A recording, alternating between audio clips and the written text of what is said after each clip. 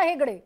चुनौती 31 दिसंबर तक की है और 31 दिसंबर को सीट शेयरिंग पर अगर बात बन जाती है तो वो जो 37 फ़ीसदी मैं हमेशा कहती हूँ आपका वोट बैंक एनडीए को मिला लीजिए अगर तो भी 45 फ़ीसदी का वोट बैंक है आपका 2019 के हिसाब से।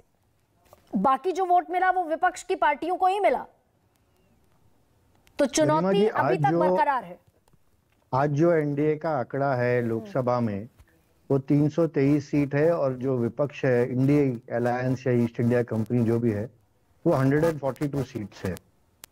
तो मुझे नहीं लगता नहीं, इसमें कोई बदलाव होगा। कृष्णा हेगड़े मुझे एक मैं बात- छोटा सा एक ऑब्जेक्शन यहाँ पर दर्ज करा दूँ अपना। ईस्ट इंडिया कंपनी की हिस्ट्री और ये विपक्ष की सारी पार्टियाँ जिनके सांसद इलेक्टेड हैं देश की जनता ने वोट देकर चुना है संसद में बैठते हैं।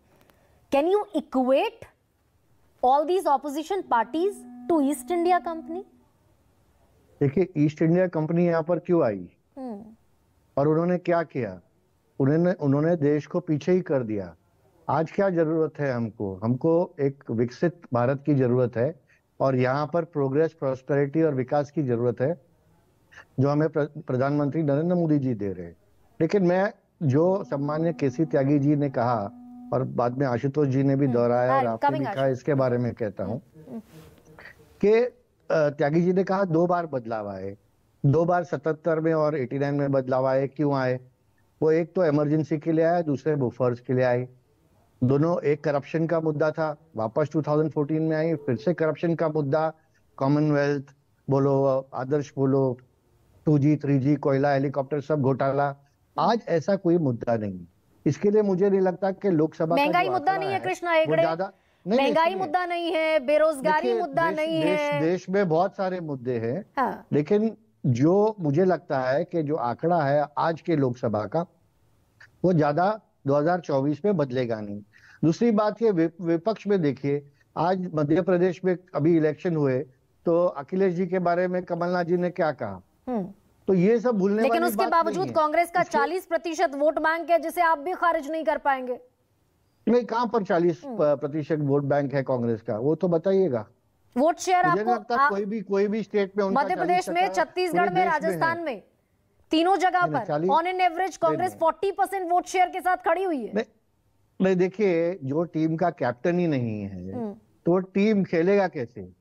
ये मुझे लगता है एक धक्का स्टार्ट गाड़ी है चलते यू नो धीरे धीरे चलती है मंजिल तक तो नहीं पहुँचने वाली। जैसे आशुतोष जी ने कहा इनके बीच में कोऑर्डिनेशन ही नहीं है। उद्धव जी के माउथपीस सामना ने क्या लिखा है?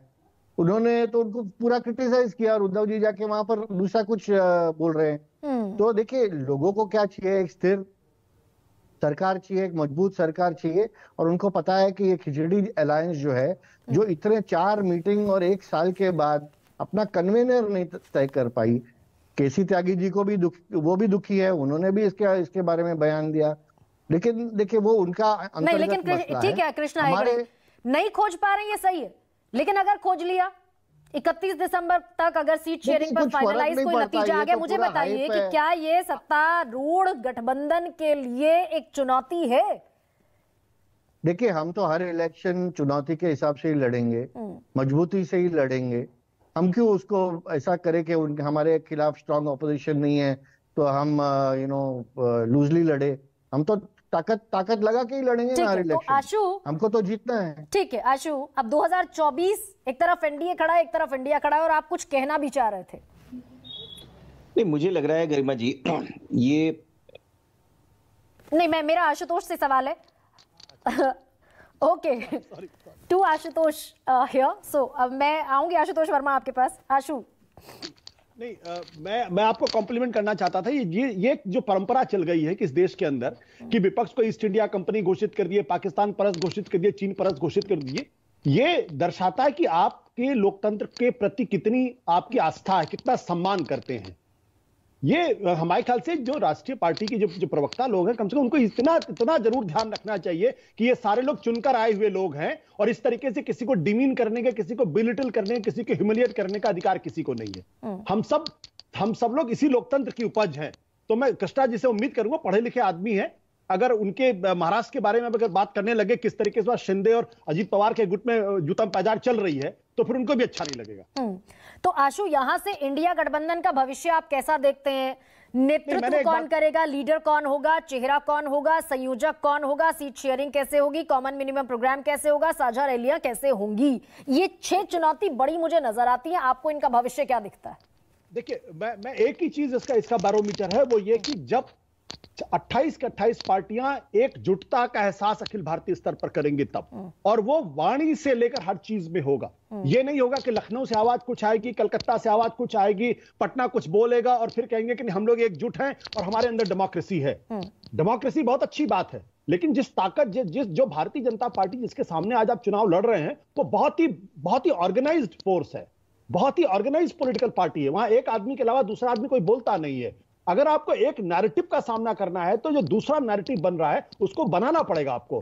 अगर अगर है। ना? ये जब जिस जब जिस दिन वो होगा मैंने फिर मैं फिर दोहरा देता हूँ। जिस दिन सुरेंद्र राजपूत जी त्यागी जी और आशुतोष वर्मा की आवाज़ एक हो जाएगी उस दिन बीजेपी के लिए संकट पैदा होगा 2024 की। तो केसी त्यागी जी क्या ये होता हुआ दिख रहा है कि आपका सामना 303 सांसदों के साथ खड़ी हुई एक पार्टी से है और आप 28 के 28 भी जब मिल रहे हैं तो 142 सांसद हैं आपके लोकसभा में। ये होता हुआ दिख रहा है। गर्मा जी, मैं पहले आपको साधुवाद देना चाहता हूँ कि जो मुझे कहना चाहिए था। कृष्णा हेगड़े जी विधायक भी रहे हैं, सम्मानित हैं, और ये भाषा जो है, ये लोकतंत्र की भाषा नहीं है।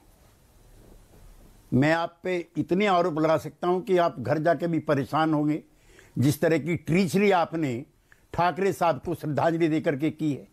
जो आदमी जॉर्ज फर्नांडीज, राम जेठमलानी के साथ महाराष्ट्र में जिसने यह आंदोलन खड़ा किया था, दल बदल करके चोरों के साथ, डकैतों के साथ स्मगलर